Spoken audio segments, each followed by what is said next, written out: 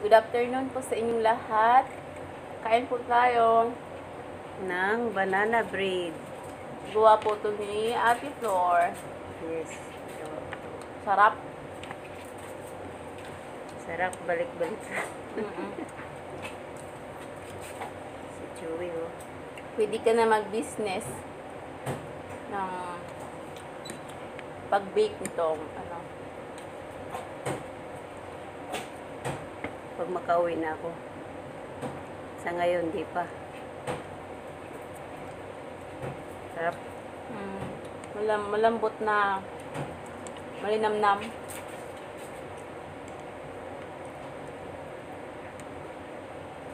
Pero tataba tayo nito. Mm. Pag palagi.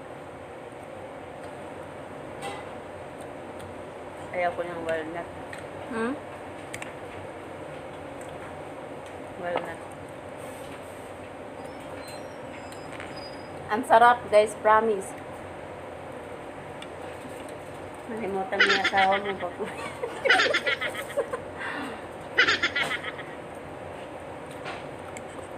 Ako, wala akong malilimutan kasi wala naman akong asawa. Yun no. Ikaw Joey. mayroon.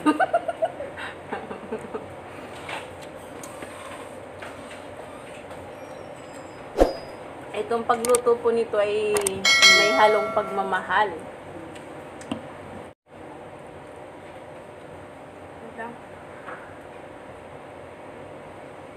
Thank you, Lisa.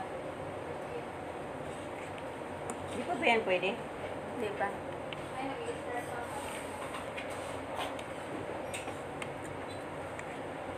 Tapos, dapat kumuha ka ng coke.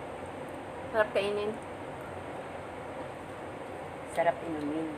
Dito.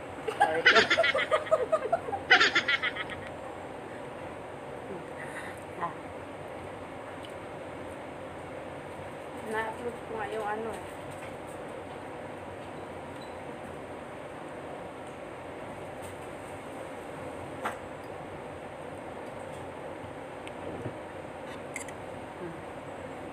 Guys, gusto nyo,